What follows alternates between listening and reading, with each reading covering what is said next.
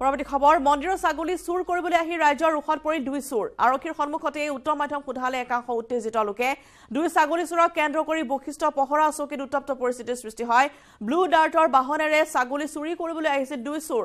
বৈশিষ্ট্য মন্দিৰৰ পহৰা চকীৰ সন্মুখৰ পৰাই দুই ছাগলী চুৰ বিশ্বজিৎ ডেকা আৰু পল্লৱ বৰদলৈয়ে মন্দিৰত ভক্তই সমৰ্পণ কৰি দিয়া ছাগলী এটা চুৰ কৰি পলাবলৈ লওঁতেই ৰাইজে আটক কৰি গতালে আৰক্ষীক। স্থানীয় ৰাইজৰ অভিযোগত বিগত ডেৰ বছৰ ধৰি চুৰি হৈ আছে বৈশিষ্ট অঞ্চলত বহু ছাগলী। ইফালে মন্দিৰ চৌহদত এখন পহৰা চকী থকাৰ পিছতো এইদৰে অঞ্চলটোত ছাগলী বাইক আদি চুৰি হৈ থকা ঘটনাত ৰাইজে আৰক্ষীৰ বিফলতাক চোকা সমালোচনা কৰিছে।